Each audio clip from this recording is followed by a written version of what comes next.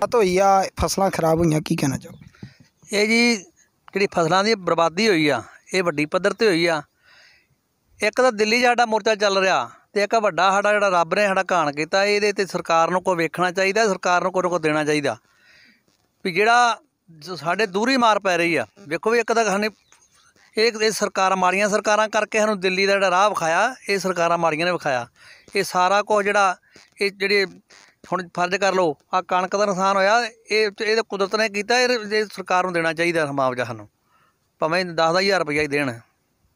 ਤੇ ਕਦੋਂ ਤੱਕ ਤੁਹਾਡਾ ਮਾਮਲਾ ਸੁਲਝਣ ਦਾ ਲੱਗਦਾ ਤੁਹਾਨੂੰ ਦਿੱਲੀ ਆ ਦਿੱਲੀ ਆ ਜੀ ਇਹ ਤਾਂ 2022 ਦੀਆਂ ਵੋਟਾਂ ਤੋਂ ਬਾਅਦ ਜੇ ਹੋਊਗਾ ਤਾਂ ਹੋਊਗਾ ਪਹਿਲਾਂ ਨਹੀਂ ਕੁਝ ਵੀ ਨਾ ਹੀ ਇਸ ਬੰਨੇ ਜਾ ਹੀ ਰਹੇ ਹਾਂ ਜੀ ਜਿਹੜੀਆਂ ਤੇਲ ਦੀਆਂ ਕੀਮਤਾਂ ਦਿਨੋਂ ਦਿਨ ਵਧ ਰਹੀਆਂ ਕੀ ਕਹਿਣਾ ਚਾਹੋਗੇ? ਇਹਦਾ ਸਰਕਾਰ ਮਾਰਦੇ ਸਰਕਾਰ ਦਾ ਮਾਰੂਗਾ ਵੀ ਨਿੱਤ ਟੈਕਸ ਦਾ ਤੇ ਤੇਲ ਦਾ 30 ਰੁਪਏ ਹੀ ਆ। ਟੈਕਸ ਹੀ ਪੰਜਾਬ ਸਰਕਾਰ ਦਾ ਸੈਂਟਰ ਸਰਕਾਰ ਦਾ ਉਹੀ ਨੱਪ ਕੇ ਲਈ ਜਾਂਦਾ। ਤੇਲ ਦਾ ਰੇਟ ਨਹੀਂ ਗੁਜ਼ਾਰੇ ਤੇਲ ਦਾ 30 ਰੁਪਏ ਰੇਟ ਸਾਰਾ। ਤੇ ਡਬਲ ਹਰ ਸਕੂਲਾਂ ਦਾ ਘਾਣ ਕੀਤਾ ਵਿਆ ਵੀ ਆ ਉਧਰ ਬੱਚਿਆਂ ਦੀ ਪੜ੍ਹਾਈ ਸਿਰੇ ਤੇ ਆਈ ਸੀ। ਤੇ ਚੱਕ ਕੇ ਆ ਲੋਕਡਾਊਨ ਦਾ ਨਾ- ਨਾ ਕੋਈ ਲੋਕਡਾਊਨ ਹੈਗਾ ਨਾ ਕੀਤਾ ਹੈਗਾ। ਤੇ ਇਹਨਾਂ ਨੇ ਜਾ ਕੇ ਸਰਕਾਰਾਂ ਨੇ ਸਕੂਲ ਬੰਦ ਕਰਤੇ ਆ, ਸਾਲ ਦੀ ਪੜ੍ਹਾਈ ਬੱਚਿਆਂ ਨੇ ਫਿਰ ਸਾ- ਸਾਲ ਪਿੱਛੇ ਮਰ ਗਿਆ ਤੇ ਸਾਲ ਗਾਂ ਮਰ ਗਿਆ। ਇਹ ਸਰਕਾਰਾਂ ਦੀ ਨੀਤੀ ਬਹੁਤ ਮਾੜੀ ਜਿਹੜੀ।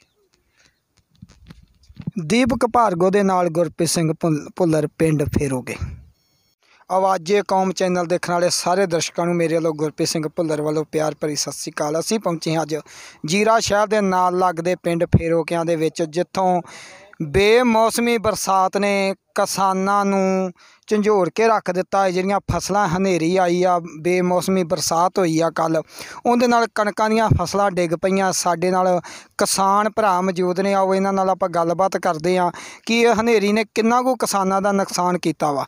ਆ ਜੋ ਤੁਹਾਡੀ ਗੱਲਬਾਤ ਕਰਾਉਣੇ ਆ ਸਾਡੇ ਨਾਲ ਇਸ ਪਿੰਡ ਦੇ ਕਿਸਾਨ ਮੌਜੂਦ ਆ। ਹਾਂਜੀ, ਤੁਹਾਡਾ ਕੀ ਨਾਮ ਹੈ? ਮੇਰਾ ਨਾਮ ਜੀ ਹਰਬੰਸ ਸਿੰਘ ਬਰਾੜ, ਸਾਬਕਾ ਮੈਂਬਰ ਪੰਚਾਇਤ ਫੇਰੂਕੇ ਮੈਂ ਤੇ ਜਿਹੜੀ ਬੇਮੌਸਮੀ ਬਰਸਾਤ ਹੋਈ ਆ, ਇਹਦੇ ਨਾਲ ਕਣਕਾਂ ਦੀਆਂ ਫਸਲਾਂ ਜਿਹੜੀਆਂ ਸਰੋਂ ਆ, ਉਹ ਡਿੱਗ ਪਈਆਂ। ਤੁਸੀਂ ਕੀ ਕਹਿਣਾ ਚਾਹੋਗੇ?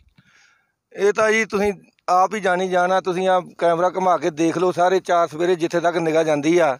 ਕਣਕਾਂ ਸਾਰੀਆਂ ਸੁਹਾਗਾ ਹੀ ਵਿਛ ਗਿਆ ਜੀ। ਕੁਛ ਗੜੇ ਵੀ ਪਏ ਆ ਥੋੜੇ ਥੋੜੇ ਰਾਤ ਨੂੰ। ਉਹਨਾਂ ਦਾ ਇੰਨਾ ਪਤਾ ਨਹੀਂ ਲੱਗਾ, ਪਰ ਹੁਣ ਅੱਜ ਤੋਂ 5-4 ਦਿਨ ਬਾਅਦ ਕਣਕ ਸੁੱਕਣੀ ਸ਼ੁਰੂ ਹੋ ਗਈ ਆ। ਤਕਰੀਬਨ ਮੇਰੇ ਹਿਸਾਬ ਨਾਲ 50% ਨੁਕਸਾਨ ਹੋ ਗਿਆ। ਇਸ ਕਰਕੇ ਮਹਿੰਗੇ ਭਾਅ ਦੀਆਂ 65-65 ਹਜ਼ਾਰ ਨੂੰ ਅਸੀਂ ਜ਼ਮੀਨਾਂ ਲਈਆਂ ਜੀ।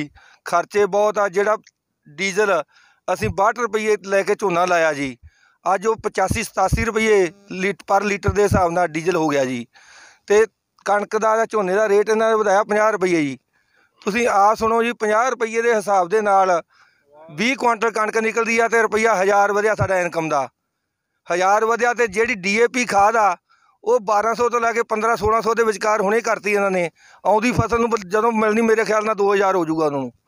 ਤੇ ਇਸ ਕਰਕੇ ਕਿਸਾਨ ਤਾਂ ਅੱਗੇ ਕਚੂੰਬਰ ਨਿਕਲਿਆ ਹੋਇਆ ਤੇ ਕਿਸਾਨ ਤਾਂ ਇਸ ਵਕਤ ਬਹੁਤ ਮੰਦੀ ਹਾਲਤ ਦੇ ਵਿੱਚ ਆ ਜੀ। ਅਸੀਂ ਤਾਂ ਸਰਕਾਰ ਤੋਂ ਪੁਰਜ਼ੋਰ ਅਪੀਲ ਕਰਦੇ ਆ ਕਿ ਸਾਨੂੰ ਬਣਦਾ ਮੁਆਵਜ਼ਾ ਦਿੱਤਾ ਜਾਵੇ ਤਾਂ ਕਿ ਅਸੀਂ ਵੀ ਆਪਦੇ ਬਾਲ ਬੱਚੇ ਸੌਖੇ ਪਾਲ ਸਕੀਏ ਤੇ ਨਹੀਂ ਤਾਂ ਸਾ- ਕਿਸਾਨ ਦਾ ਤਾਂ ਲੱਕ ਟੁੱਟਾ ਪਿਆ। ਬਾਕੀ ਸਾਡੇ ਕਿਸਾਨ ਭਰਾ ਉੱਥੇ ਦਿੱਲੀ ਬਾਰਡਰਾਂ ਤੇ ਤਕਰੀਬਨ 3.5 ਮਹੀਨੇ ਤੋਂ ਬੈਠੇ ਆ ਜੀ। ਪਹਿਲਾਂ 3 ਮਹੀਨੇ ਪੰਜਾਬ 'ਚ ਬੈਠੇ ਰਿਹਾ ਹੈ ਤੇ 6 ਮਹੀਨੇ ਹੋ ਗਏ ਸਾਡੇ ਕਿਸਾਨ ਭੁੱਖੇ 'ਤੇ ਆਏ ਉੱਥੇ। ਮ- ਪਹਿਲਾਂ ਸਿਆਲ ਦੇ ਵਿੱਚ ਬਰਫ਼ ਪੈਂਦੀ ਸੀ ਠੰਡ ਪੈਂਦੀ ਸੀ, ਇੰਨੀ ਠੰਡ ਦੇ ਵਿੱਚ, ਟਰਾਲੀਆਂ ਦੇ ਵਿੱਚ, ਥੱਲੇ ਰਸਤਿਆਂ ਦੇ ਵਿੱਚ ਮੈਟ ਵਿਛਾ ਕੇ ਸੁੱਤੇ ਵਿਚਾਰੇ। ਹੁਣ ਉੱਥੇ ਮੱਛਰ ਨਹੀਂ ਟਿਕਣ ਦਿੰਦਾ। ਭੁੱਖੇ ਤੇ ਆਏ ਰਹਿੰਦੇ ਅਸੀਂ ਸੈਂਟਰ ਸਰਕਾਰ ਨੂੰ ਅਪੀਲ ਕਰਦੇ ਹਾਂ ਕਿ ਸਾਡੇ ਕਿਸਾਨਾਂ ਦੀਆਂ ਹੱਕੀ ਮੰਗਾਂ ਮੰਨ ਕੇ ਉਹਨਾਂ ਨੂੰ ਵਾਪਸ ਭੇਜਿਆ ਜਾਵੇ, ਆਪਦੇ ਘਰਾਂ ਨੂੰ। ਆਉਣ ਉਹ ਵੀ ਆਪਦੇ ਬਲ ਬੱਚਿਆਂ ਨਾਲ ਘੱਟੋ ਘੱਟ 2.5 300 ਦੇ ਕਰੀਬ ਸਾਡਾ ਕਿਸਾਨ ਉੱਥੇ ਮੌਤ ਦੇ ਮੂੰਹ ਜਾ ਚੁੱਕਾ। ਉਸ ਦਾ ਕਿਸੇ ਸਰਕਾਰ ਨੇ ਸੈਂਟਰ ਸਰਕਾਰ ਨੂੰ ਚਾਹੀਦਾ ਕਿ ਉਹਨਾਂ ਦਾ ਬਣਦਾ ਮੁਆਵਜ਼ਾ, ਉਹਨਾਂ ਦੇ ਸਰਕਾਰੀ ਜੀਆਂ ਨੂੰ ਇੱਕ ਇੱਕ ਨੌਕਰੀ ਦਿਓ। ਕੀ ਗੱਲ? ਉਹ ਵੀ ਇਸ ਦੇਸ਼ ਦੇ ਲੋਕਤੰਤਰ ਆ, ਇਸੇ ਭਾਰਤ ਦੇ ਵਿੱਚ। ਵੇਖਣ ਦਾ ਲੋਕਤੰਤਰ ਅਮਰੀਕਾ, ਕੈਨੇਡਾ ਜਾ ਕੇ ਸਾਡਾ ਪ੍ਰਧਾਨ ਮੰਤਰੀ ਕਹਿੰਦਾ, ਪਰ ਆਪਣੇ ਇੰਡੀਆ ਦੀ ਹਾਲਤ ਕੁਝ ਹੋਰ ਆ।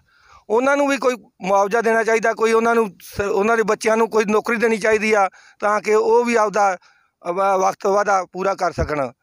ਮੇਰੀ ਤਾਂ ਹੱਥ ਜੋੜ ਕੇ ਸਰਕਾਰ ਨੂੰ ਇਹੀ ਅਪੀਲ ਆ ਕਿ ਸਾਨੂੰ ਜਿਹੜਾ ਕੁਛ ਆ ਸਾਡੀ ਫਸਲ ਖਰਾਬ ਹੋਈ ਆ ਇਹਦਾ ਮੁਆਵਜ਼ਾ ਦਿੱਤਾ ਜਾਵੇ।